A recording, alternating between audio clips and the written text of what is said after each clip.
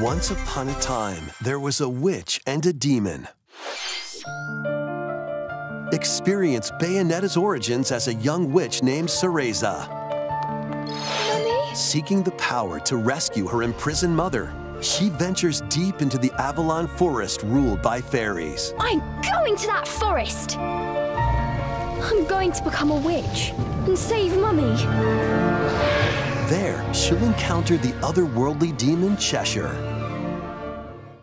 You'll control both witch and demon at the same time.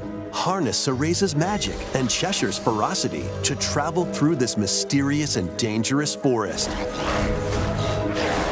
They'll need to work together in battle as well. Cheshire, let's go! Cereza cannot attack and can only support Cheshire by magically binding enemies. Hold an enemy in place while Cheshire attacks. Or stop an aggressive one to focus on another. Strategically use each character's abilities to win battles. the duo will gain strength as they continue their journey. By obtaining more powers, new paths can be opened, and battles can be more easily swayed in your favor. Can Cereza and Cheshire find their happily ever after?